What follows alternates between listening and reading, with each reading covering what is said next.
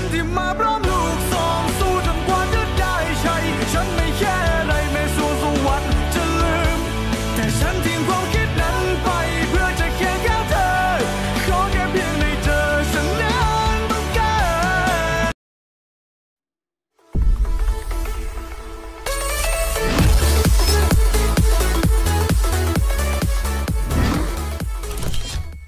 ก็สวัสดีนะครับก็อยู่กับผมนะครับอูเมอร์เกมมิ่งนะซึ่งวันนี้นะผมจะมาสอนเทคนิคการเล่นฟอร์เรนแบบ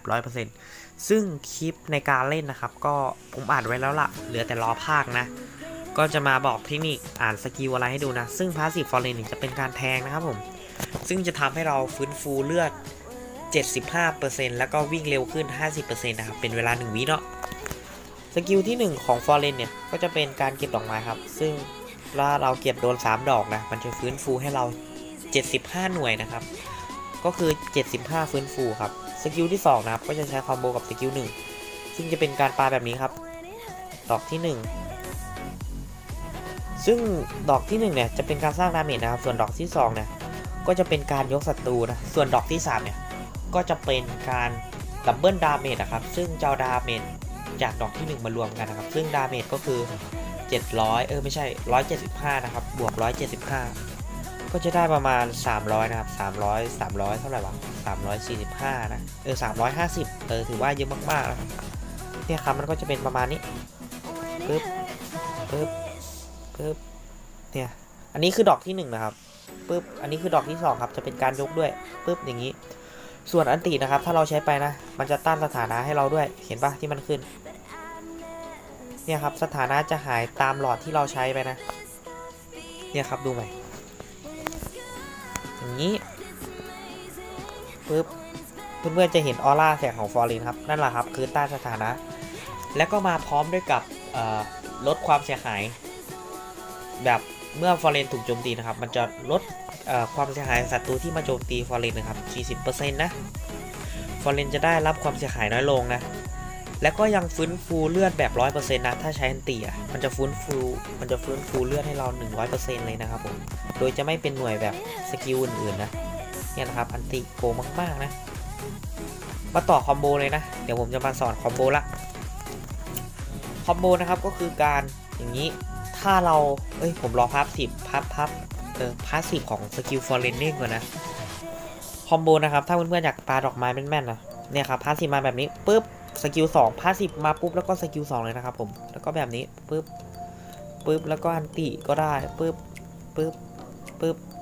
ปุ๊บทุกคนก็ควรรู้แหละผมว่าแบบนี้เป็นการระบำที่ง่ายมากๆ และการและก็การตั้งค่าอย่างหนึ่งเลยที่ไม่ทำให้ฟอร์เรนงึกงักนะครับ ก็คือการตั้งค่าแบบนี้ครับผมเนี่ยครับโจมตีศัตรูขณะเคลื่อนที่นะ ให้เป็นการปิดนะครับฟอร์เรนของคุณจะไม่งึกงักอีกต่อไปนะ มาคอมโบทวนอีกรอบ passive ไปสกิลสองแล้วก็ปาหนึ่งแล้วก็นี้แล้วก็นี้แล้วก็เปิด ulti ปึ๊บปึ๊บแล้วก็สกิลหนึ่งเรื่อยๆครับผมสังเกตสกิลหนึ่งเราจะ re cooldown เร็วมาก แล้วก็สกิลสองประมาณนี้เลยนะ เป็นคอมโบง่ายๆซึ่งจะทำให้เพื่อนๆปาดอกไม้ได้แม่นขึ้นแน่นอนครับผมโอเค ก็ไปรอดู เทคนิคการเล่นเลยนะครับผมว่าจะเป็นยังไง เออเดี๋ยวเดี๋ยวอย่าเพิ่งไป ผมลืมบอกพลังแฝง พลังแฝงก็จะมี Shadow b a s e นะครับ Lady Core แล้วก็เอ่อดาบดูดเลือดนะครับ ที่มันตีครบ 10 stack นะครับ แล้วก็เคียวนะครับ แล้วก็เจ้าตัวนี้นะครับ ซึ่งเอามาใช้ในตอนต้นเกมนะครับ late game จะไม่มีผลนะกับ ulti ซึ่งมันจะลด cooldown ultimate ไป 10%ซึ่งเหมาะกับฟอร์เรนมากๆครับ เพราะว่า ulti ฟอร์เรนนี่ดูดเลือด 100%นะ ถือว่าเยอะมากๆครับผม ก็ประมาณนี้เลยนะครับพลังแฝงเดี๋ยวไปดูในตัวเกมเลยนะ ก็มาครับผม อยู่ในเกมนะ ออกเป็นรองเท้านะครับผม แล้วก็ขึ้นเป็นเจ้าตัวนี้นะ hammer นะครับผม ซึ่งจะได้ 40 damage ถ้าเราไปออกโจมตีธรรมดา 2 ชิ้นอะ มันแพงกว่าเจ้า hammer นะครับ ซึ่งมันก็ได้ 40 damage เหมือนกันนะ แต่มันแพงกว่านะครับ ออก hammer มาช่วงต้นเกมจะคุ้มกว่า ตั้งเป็นพลังโจมตีป้องกันต่ำที่สุดนะครับ เพราะว่าจะล้วงยอนนะ เพราะว่าล้วงยอนมันล้วงยากนะครับ มาโอเค ถ้าเราปาดอกโดนนี่เราบวกกับคิลกรอธเลยนะครับ เพราะว่าคิลกรอธสู้เราไม่ไหวอยู่แล้วนะ ตัวเราค่อนข้างจะชนะคิลกรอธนะครับ เดี๋ยวเกมนี้ผมจะมาออกไอเทมแบบแปลกๆให้ดูแล้วกันนะ เป็นไอเทม snowball game นะครับ โอเคลาดนกไปปึ๊บปึ๊บปึ๊บแล้วก็ปลาหนึ่งครับผม ช็อตนี้ผมเกือบได้นะ โอเคครับ จังหวะนี้ก็มาเคลียร์คลิปนะ โอ้โหซิลโผล่บนนะครับ ต้องรีบเคลียร์ครับผม เดี๋ยวถอยดีกว่านะ ถ้าไม่มั่นใจก็ถอยนะครับ เดี๋ยวซิลเข้ามาเก็บงานนะครับ จากจะเสียหนึ่งตัวกลายเป็นเสียทั้งหมดเวฟเลยนะครับ เวฟคลิปฝั่งเขานะ เราจะไม่ได้ตังค์นะครับ แล้วก็กดซื้อหมัดครับผมเพราะได้แบบนี้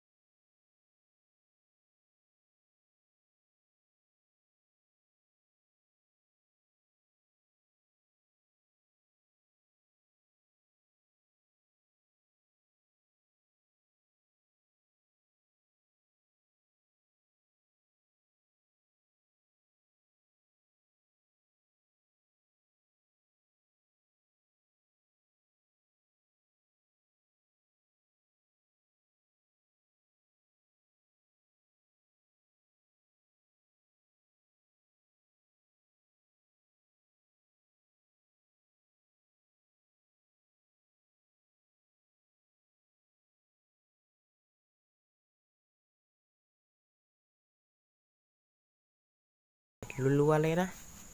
เดินมาก็ last shot ครับผม ไม่ได้ทำ damage อะไรมาก เพื่อนๆจะสังเกตนะ เวลาเล่น offlane ป้อมแตกปุ๊บ เราจะมีอิสระในการเดินนะครับ ถ้าป่ามาทำบนนะครับ คือ offlane คุณได้เดินแน่นอนนะ โอเคครับผม เดี๋ยวเดินไปเติมกลางนะ พยายามเราเดินไปแคมป์พุ่มนะครับผม เนี่ย โอ้ เจอซิวนะ เฮ้ย อยากใส่เลยเอาหันมา ใส่กันบ้านเราเพื่อน โอ้โห ต้องถอยนะ มาใส่หน่อยแล้วกัน โอ้ ตายแน่นอนครับโอ้โหจังหวะนี้ผมพลาดเลยนะช็อตนี้คือผมพลาดนะ แต่ดาร์ซี่เขามาเก็บงานให้อยู่นะครับ คือเมื่อกี้อะ คือผมถอยก็ถอยได้นะ แต่ผมคิดว่าผมจะสวนไง แต่ไม่ใช่อย่างที่คิดครับ ก็คือตายนะ พลาดจัดเลยนะครับ มา สวยครับผม ดาร์ซี่ได้เก็บ3เลยนะ ถือว่าคุ้มมากๆครับผมสำหรับการแลกผมเป็นคนเดียวนะ โอ้อเลสเตอร์เอาเกิดมาเหรอเนี่ย มาครับผม ไปเคลียร์บนนะ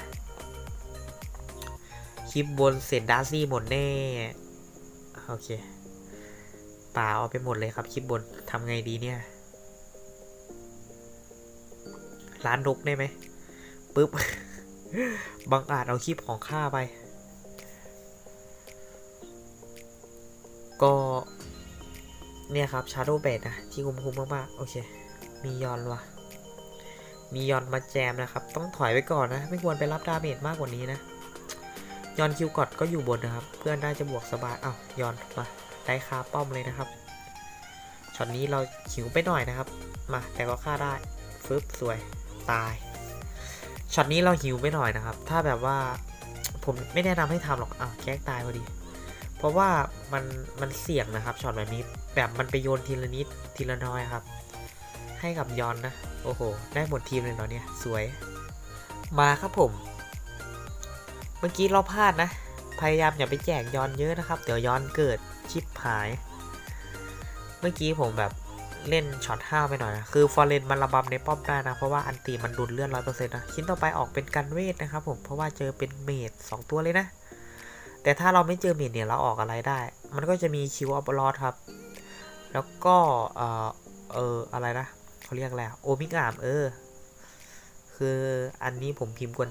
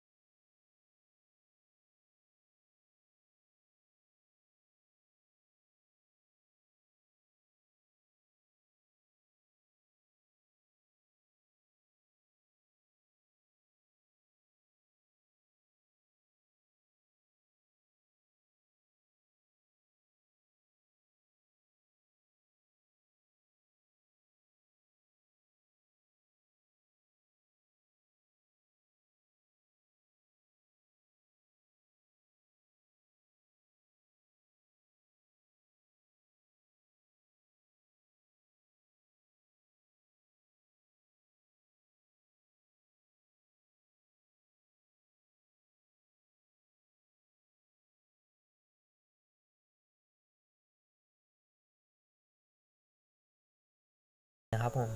เพราะว่าเราจะได้ไปเดิน fight กับเพื่อนแล้วนะ